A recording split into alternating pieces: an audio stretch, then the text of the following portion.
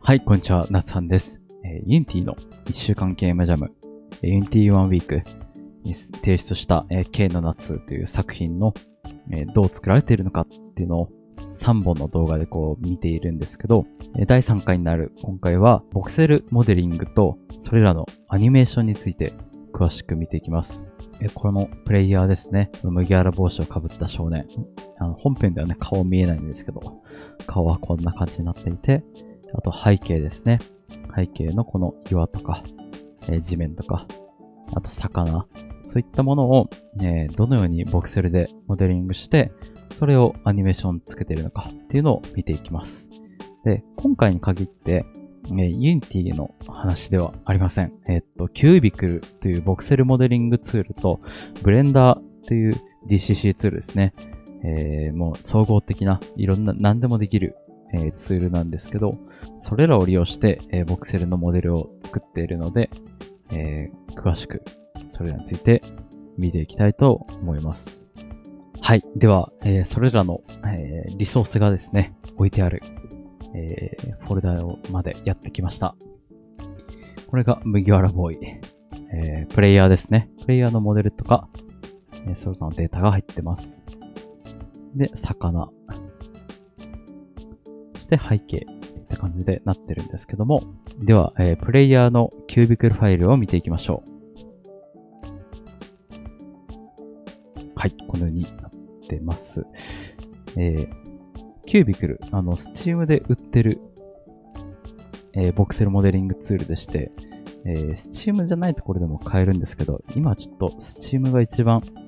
入手しやすいかなと思うんですけど、こちらがあのキュービクルの、えー、スチームのストアページですね。えー2016年にリリースされてて、こんな感じで売られてます。ベーシックエディションとインディエディションがあって、えー基本的にはインディエディションの方が機能がフルに入ってるので、インディエディションをお勧めします。2500円ですね。で特段セールとか来ることがなかった気がするので、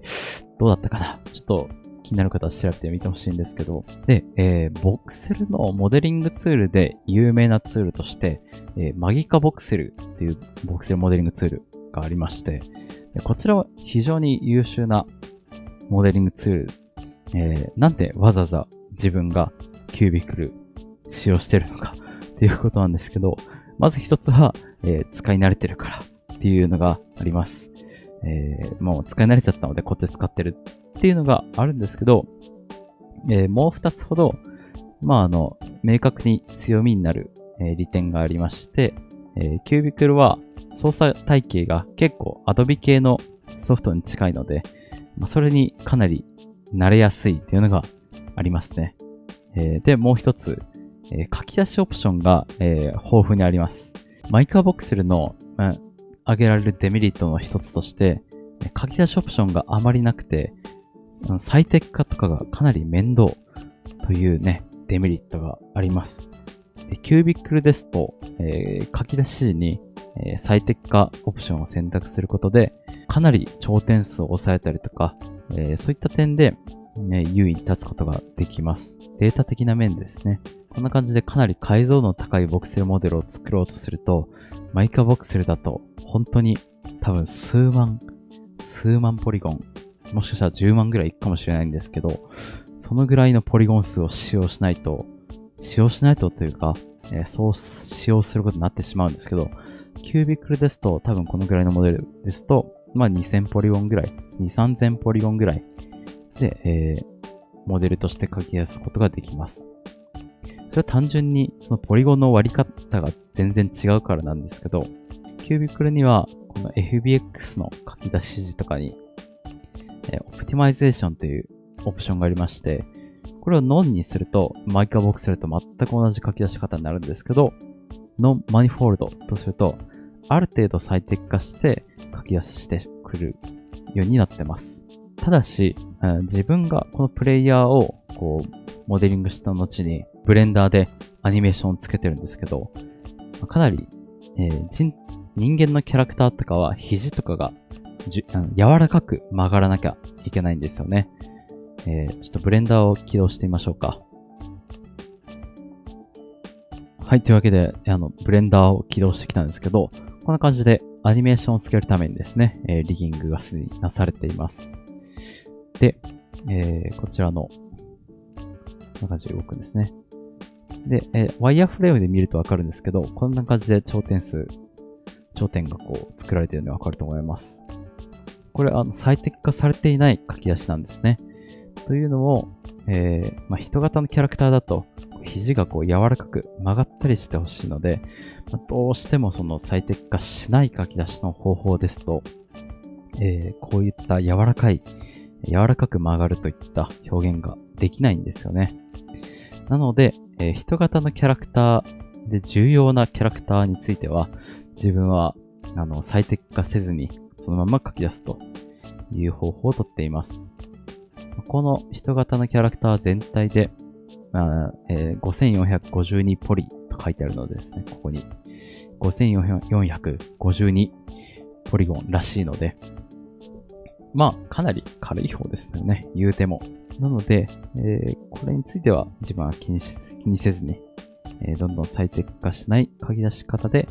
えー、書き出ししています。はい、それでは、えっ、と、キュービクルに戻りまして、キュービクルでは、えこんな感じで、モデリングしていきます。こんな感じで入った後に、えブラシを選択して、スポイトで色を選んだりして、こうやったりとか。あと、ここちょっと広げたいなっていう時は、例えばちょっとお腹出そうかっていう時は、こんな感じで横から選択肢ですね。コントロールをしながら、矢印を押すことで、こんな感じで出していくことができます。で、ミラーリングツールもあるので、左右とミラーリングさせながら編集したいなっていう時は、こんな感じでできますね。で、えっと、後ほど、ゲームエンジンで、Unity 側で、別オブジェクトとして利用したい、こう、竿と向きについては、別のメッシュのグループとして作っています。帽子もね、えー、地味に分けてますね。もう一つ、魚もちょっと見ていこうかなと思うんですけど、魚についてはこんな感じですね。え左側に、あの、一番最初に作った、えものがありまして、それらをパーツごとに分けています。で魚については、えー、最適化を有効にして書き出しています。なので、えー、魚のブレンダーをちょっと開いてみるとわかるんですけど、こちらの山上モデルは、え358ポリゴンですね。ワイヤーフレームで見てみると、こんな感じで、さっきのプレイヤーの見た目と全然違うのがね、わかるんじゃないかなと思います。こんな感じで、キュービクルは、えー、最適化書き出しをすることで、かなりポリゴン数を抑えることができるっていうのが魅力の一つですね。ただ、まあ、PC 向けゲームであれば、まあ、こんな最適化とか、そこまで気にしなくていいかもしれないです。ただし、その、ボクセルをかなりふんだんに使ったモデルですと、この最適化オプションの有無で、全然ポリゴン数が変わるので、あの、気になる方はですね、ぜひ、キュービクルとかを買ってみて、ってみてください。はい。では、あの、背景については、こんな感じになってます。キュービックルですね。えー、っと、ここら辺、まあ、結構雑に作ってはいるんですけど、ただこうノイズ的なこう、なんか、ジャリとかを表現するために、なんかノイズっぽく模様を作るんですけど、これのなんかアットノイズっていうキュービックルの機能を使うとですね、かなり楽にノイズをつけることができます。非常にキュービクの中でも強力な機能だと思います。いったノイズ機能を使って、えー、なんとなくね、自然な感じの、自然の川底みたいな感じの表現を作りました。キュービクルについてはこんな感じなので、次にですね、えー、ブレンダー上でどんな風にアニメーションつけているのかを見ていきましょう。えー、ブレンダーで使っているアドオンは、まあいろいろあるんですけど、一つはまず、え、 Auto-Rig Pro ですね。こちらブレンダーマーケットでえー、買うことができるので、えー、ブレンダーで、え、リギングする人、方にはですね、ぜひ、ぜひ購入していただきたい超便利ツールになってます。ニメーションはこんな感じでキーフレームで手打ちしています。で、もう一つ、えー今ちょっと使ってたんですけど、アクションローダーっていう、えープラグイン、アドオンも使っています。これは、こちらも、えーブレンダーマーケットで購入できるやつですね。ブレンダーはその一つのファイルでこうこんな感じで複数のアニメーションをこう持つ管理方法が結構できるんですけど、それをさらにやりやすくしてくれるのがアクションローダーですね。アクションを一覧にしてこう表示させて、表示してくれて、それぞれ一瞬でジャンプしたりとか、えーキーフレームの長さに応じて、この再生レンジを自動的に調整したりとか、そういった機能が詰め込まれてて非常に便利です。ブレンダーで手手付けアニメーションをする人は正直マストなアドオンだと思ってます。はい。さらにですね、えーっと、これはまあ自作になるんですけど、えーまあボクセルモデルを、えーキュービクルオブジェクトをですね、リネームしたりとか、統合するために、えー、ボクセル UV オートリネームという、えーアドオン、これはまあ自分で簡単に Python で書いた、えー拡張になるんですけど、こういったものを使ってます。えーまあ、ブレンダーは Python でかなり簡単にアドオンを書くことができるので、えーなんかキュービクルのデータがこう使いづらいなっていう時とかに、あの、簡単に Python をペペッとコピペして貼り付けて組み上げることができるので、結構ね、どういうところからデータをもらってきても、まあ、Python さえある程度書いたり読んだりできれば自由自在にアドオン書けるっていうのがまあ非常に魅力的だと思います。で、まあこのアドオンはまあどういう働きをするのかっていうのを一応見ておくんですけど、まあ、魚のモデルがありますと。魚のモデルをちょっと読み込んでみましょう。ちょっと新規ファイルをちょっと出してですね、魚の FBX ファイルを読み込んでみます。はい。えーこんな感じで魚のファイルをこう読み込んできたんですけど、えー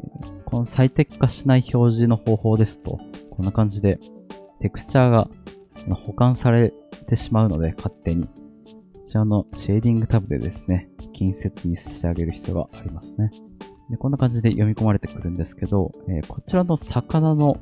モデル一つ一つがこうメッシュになってしまうので、メッシュオブジェクトになってしまうので、えー、Unity に取り込んだとき、これ一つ一つが、えースキンドメッシュレンダラーとか、そういう状態になるんですよね。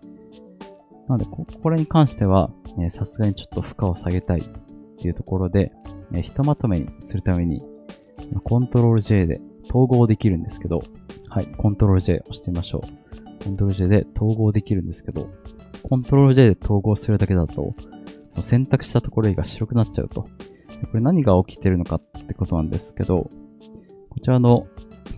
モデルを選択して、えー見ると、UV マップの名前があるんですけど、ユニオン1 1-UV なってて、こっちはユニオン 3UV ってなってるんですね。オブジェクトの名前の、え UV と UV マップの名前が別々になってるんですよ。コントロール J でこう統合するとですね、こんな感じでザーッと UV マップが連なるようになってしまうんですよね。なので、えっと、これじゃ非常に使い勝手が良くないので、えーこの自分の自作のアドオンではですね、これらを、えー、 Qubicle Object Rename っていうボタンを押すと、す、べ、ての、えーメッシュの UV マップの名前を UV マップっていう名前に変換、変更した後、すべてをえー統合して、でついでに、あの、コントロール A のこの、これですね、適用をかけることで、まあ、原点が勝手に中心に行くんですけど、まあ、そういった適用とか、自動的に、あの、手作業でやるとめちゃくちゃめんどいことを、まあ、ワンボタンでできるようにしたって感じですね。これもちょっとまとめてみましょうか。これもキュービクルプロジェクトリネームと。で、最後にこの魚ですね。 Qubicle オブジェクト rename ということで、こんな感じで最終的に3つのオブジェクトになりました。で、こうした後に、えー、ボーンを入れて、えースキニングさせていくんですね。はい。で、プレイヤーの、えーアニメーションについては、キャストとかですね、えー投げるアニメーションや、えー何もせずに待機してるアニメーション、えー投げた後に待機してるアニメーションですね。で、えー投げ終わる時のアニメーション。で、一応歩くアニメーションがあるんですけど、この歩くアニメーションは使ってないですね。こんな感じで作っています。さらにですね、えっ、と、オートリーグプロ、えーの強みとして、まあ、エクスポート FBX、エクスポーターがこう付随しているっていうのが、これを起動しますとですね、こんな感じで、エクスポート FBX っていうボタンが押しますとですね、